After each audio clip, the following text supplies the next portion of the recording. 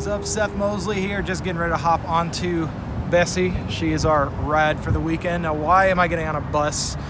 I am going out on a riding trip on the road. Yes, riding trips are very common nowadays. We're going out with a band called High Valley, who is on tour with another band called Old Dominion. And it's myself, Blake Bollinger, Nico Moon, and Ben Stennis. We are four riders that have all written with Brad over the years. And this is what happens when a band blows up is people like us who maybe live 15 minutes from Brad have to go hop on a bus just to get time with them because they're so busy. They're touring all the time, which is great. Um, High Valley's been blowing up. Songs have been on the radio, She's With Me and Make You Mine. Um, so we are writing for their next record. So we're literally following them around on tour. Going to be going to, I believe, Florida, North Carolina, and somewhere else, probably Georgia.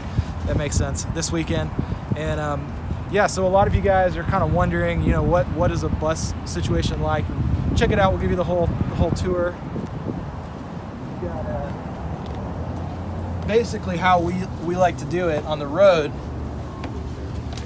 is there's nothing in here yet, but eventually there will be two rigs. There's a rig in the front of the bus in the lounge and a rig in the back lounge. So here's the front lounge. As you can see, we've got a little TV going. I haven't found the remote yet. Otherwise, I would turn it down. We've got our Whole Foods ready to go. We've got our microwave, very important coffee maker. They do have a coffee maker, that's good. little bathroom for when the moment strikes. Got your fridge, got your bunk room situation.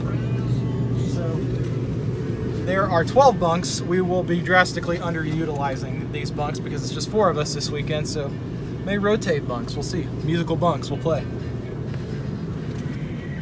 Then we've got our back lounge. So usually when I go out on the road, I'm commandeering the back lounge. I don't know what we may flip flip flop this this time, but we'll typically set up, have our instruments. We've got our, our little tables that we bring out, our travel rig, full monitors, our interface, microphone, and um, we'll just start writing tracks. And then when Brad gets time before the show, after the show, in between shows, uh, he'll come back. He'll hop on the bus and help finish the songs with us. So that's kind of the typical setup on a, uh, a, a mobile riding rig. Now you might ask, why in the world are you guys spending all this money to go out on the road? Well, as you know, hit songs are really where it all begins and where it ends for songwriters and for artists. So they're our lifeblood. So we're out here to try and write some hit songs.